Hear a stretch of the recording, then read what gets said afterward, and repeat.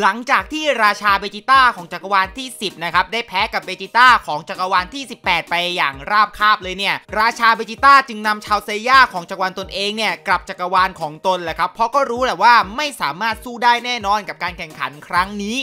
ชาวากาพวกเจ้าเนี่ยพาพวกข้ากลับได้แล้ว เออไม่ดูจนถึงรอบชิงเลยเหรอครับ ไม่เอา เจ้าจะให้ข้าอยู่ที่นี่ต่อเพื่อขายหน้าหรือไง นอกจากราชาเบจิต้านะครับที่ขอกลับเลยเนี่ยเนลนะครับก็ขอกลับด้วย เพราะเขาก็คิดแหละครับว่าถึงแม้ว่าเขาเนี่ยจะชนะในการแข่งขันรอบที่แล้วได้ก็จริง แต่เขาเนี่ยก็คงจะไม่สามารถผ่านรอบลึกๆเข้าไปได้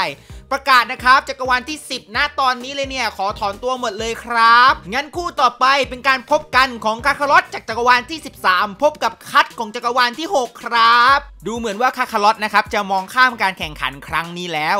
โอเคละเกมนี้เนี่ยคงจบได้ในแป๊บเดียว รอบต่อไปเลยเนี่ยข้าก็คงได้ต่อสู้กับเจ้าพวกกระจอกแน่นอน แล้วหลังจากนั้นเนี่ยถ้าข้าได้สู้กับเจ้าทรังกับเบจิต้าคนนั้น แล้วก็ก็คงจะไม่แข็งแกร่งเท่ากับเบจิต้าในจักรวาลของข้าแน่ๆข้ามาวินวินแน่นอนลุยเลยนะจ๊ะคัดจังสู้ๆคัดจังนะครับโชว์ลีลาการขึ้นเวทีอย่างสง่างามนะครับเธอหมุนตีลังกา 18 รอบนะครับในการขึ้นมาบนเวที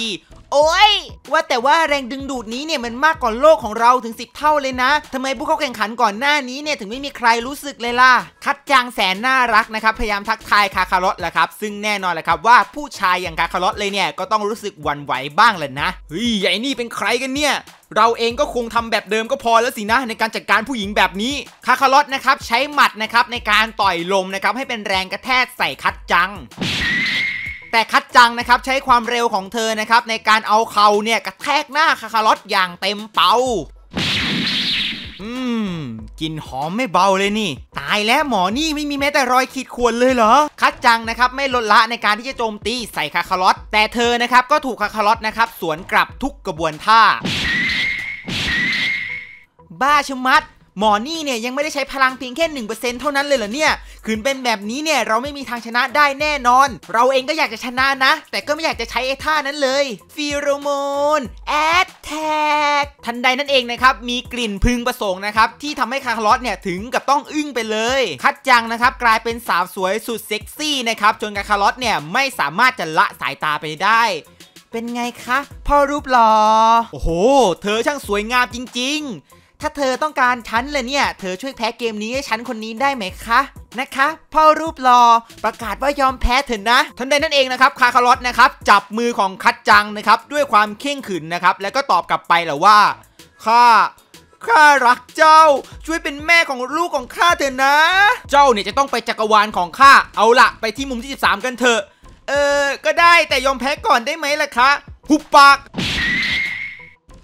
คาคารอตนะครับสวมบทเป็นเปียกวิสาเลยแหละครับเขาตบผู้หญิงนะครับแล้วก็บังคับขู่เข็นให้ผู้หญิงเนี่ยไปจักรวาลของตน ไปตายซะแกคิดจะทำอะไรของแกเนี่ยไอ้เจ้าผู้ชายบ้าข้าบอกให้หุบปากไงล่ะไอ้เจ้าหมอนี่มันบ้าไปแล้วเหรอเนี่ย มันต่อยมันกระทืบผู้หญิง ฉันยอมแพ้แล้วฉันไม่เอาแล้ว ข้าบอกให้เจ้าเนี่ยมากับข้าไง เจ้าผู้หญิงซ้ำซน คาคารอตเตรียมจะต่อยคัดจังอีกครั้งนะครับ แต่ราชาเบจิต้าเลยเนี่ยมาห้ามไว้ ขืนแกเนี่ยยังโจมตีอีกครั้งแล้วก็แกได้ตกรอบแน่ๆ หรืออย่างแย่ที่สุดเลยเนี่ย พวกเราก็คงโดนส่งกลับจักรวาลแน่นอน และเธอเนี่ยคิดได้ดีซะก่อนที่จะทำตัวเป็นคนโรคจิตแบบนี้ล่ะยายผู้หญิงบ้า อีตาบ้า ฉันนั่นเหรอโรคจิต คนของแกต่างหากล่ะโรคจิตมากกว่า สวัสดีครับท่านผู้ชมนะครับ เนื่องจากว่ามีการขอยอมแพ้ไปนะครับ คุณคาคารอตจึงเป็นผู้ชนะ กรุณาออกจากสนามเพื่อคู่ต่อไปด้วยนะครับ โดยคู่ต่อไปเป็นเซลของจักรวาลที่ 17 พบกับดาบูราของจักรวาลที่ 11 ครับทัวร์นาเมนต์นี้เนี่ยมันช่างน่าเบื่อซะจริง ๆ กว่าข้าจะได้ลงแข่ง แต่อย่างน้อยเลยเนี่ยที่นี่ก็มีศัตรูที่น่าสนใจบ้างเลยนะตัดมาทางที่จักรวาลหลักนะครับจักรวาลที่ 18 นะครับเบจิต้ากำลังวาดบางสิ่งบางอย่างอยู่ ก่อนอื่นเลยเนี่ยเราต้องเอาชนะทรังให้ได้ก่อนสินะ ก่อนที่จะไปเจอเจ้าคาคารอตครับ คุณพ่อ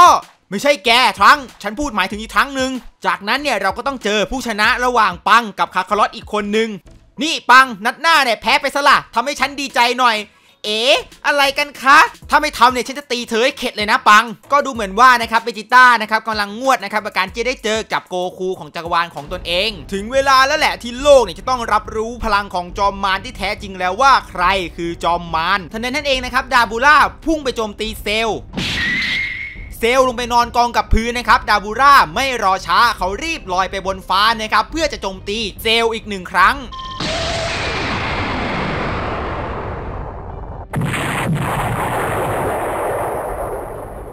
แต่ดูเหมือนว่าเซลจะไม่เป็นอะไรเลย น่าสนใจดีนี่เจ้านี่เซลนะครับที่เย็นชานะครับ รีบพุ่งไปโจมตีดาบูล่าไม่ทันตั้งตัวดาบูล่านะครับสบโอกาสนะครับตอนที่เซลประมาทนะครับเขารีบจับหัวของเซลนะครับและเขาเนี่ยได้พลิกตัวเองนะครับไปอยู่ด้านหลังของเซลไปตายซะไอ้เจ้าแมลงเต่าทอง เซลล์ที่ยังไม่ทันระวังตัวนะครับ ถูกโจมตีเข้าที่หลังอย่างจังเอ้ยเจ้ากระจอก เอ้ย โดนเข้าไปเต็มๆเลยเลยสิ อันนี้เนี่ยคือพลังที่เต็มที่ของแกแล้วสินะ เอาเฮ้ยเจ้านี่มันสะท้อนกลับมาได้ยังไงเนี่ย มันแข็งแกร่งมากๆเลย แกเองเนี่ยก็เหมือนกัน จริง ๆ แล้วเนี่ยแกน่าจะเป็นคู่ต่อสู้ที่แข็งแกร่งที่สุดเท่าที่ข้าเคยสู้ด้วยก็ว่าได้แหละนะ อ้าวเฮ้ยเจ้านี่แกก็พูดตลกดีนี่วาก็แงอยู่แล้วข้าเนี่ยจะต้องแข็งแกร่งที่สุด ก็ถ้าข้าเนี่ยเป็นถึงราชาแห่งโลกปีศาจเลยนี่วาไม่แข็งแกร่งก็แปลกนะสิโกคูนะครับที่เฝ้ามองดูเหตุการณ์นะครับก็ได้มีการพูดแหละครับว่า เจ้านั่นเนี่ยไม่ได้พัฒนาฝีมือเลยหรือไงล่ะเนี่ยโกฮังจึงเสริมเลยแหละครับว่า ไม่หรอกครับคุณพ่อ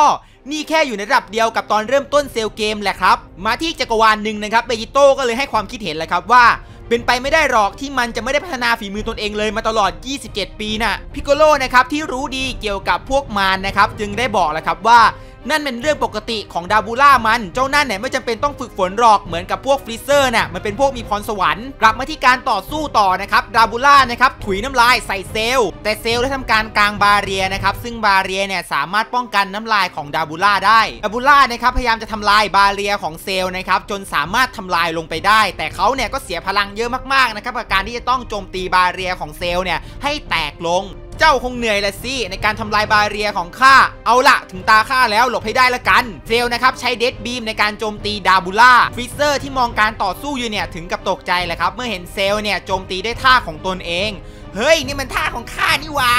การโจมตีของเซลนะครับเร็วมากๆเลยนะครับ จนดาบูล่าเนี่ยเกือบจะหลบไม่ทัน เอาละตกหลุมข้าแล้วเสร็จข้าละ ทันใดนั่นเองนะครับเซลนะครับใช้หมัดตะวันนะครับจนทำให้ดาบูล่านะครับและคนในสนามเนี่ยแสบตากันไปหมดเลย แต่ดูเหมือนดาบูล่านะครับจะสามารถหลบนะครับหมัดตะวันได้นะครับเขารีบไปโจมตีข้างหลังของเซลนะครับแล้วก็เอาดาบฟันที่เซลอย่างเต็มเปาทันใดนั่นเองนะครับตัวของเซลขาดครึ่งเลยแหละครับแต่ดูเหมือนว่าเซลนะครับยังไม่เป็นอะไร แกเนี่ยโจมตีเป็นแต่ด้านหลังหรือไง ยังไงก็ตามเนี่ยแกเนี่ยไม่สามารถฆ่าข้าได้ด้วยดาบเล่มนี้หรอกนะ ดาบูล่าจึงทำการหยามเซลล์แหละครับ ร่างของแกเนี่ยแทบขาดครึ่งแล้ว แถมแขนของแกเนี่ยก็เหลือเพียงแค่ข้างเดียว แกแพ้แล้วล่ะ อย่ามาขี้โม้หน่อยเลยทันใดนั่นเองนะครับเซลล์นะครับโชว์ในการงอกแขนออกมานะครับแล้วก็สมานแผลที่ตัว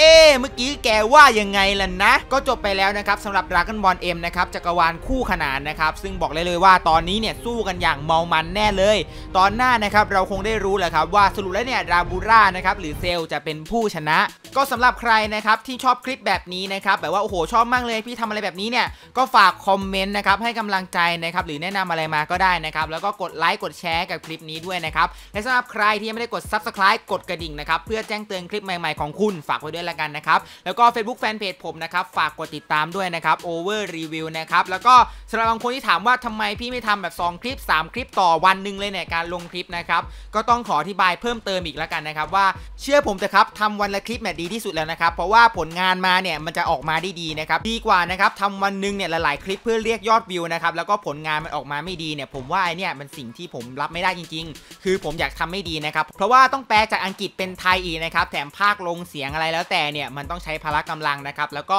ต้องใช้ความพยายามในการทำเยอะเลยนะครับผมอยากทุกคนดูของคุณภาพดีๆนะครับก็ขอฝากไว้แล้วกันนะครับยังไงก็รับปากว่าจะพยายามลงให้ทุกวันนะครับให้ทุกคนไม่ขาดตอนแน่นอนสำหรับซีรีส์นี้สำหรับวันนี้ก็ขอขอบคุณครับ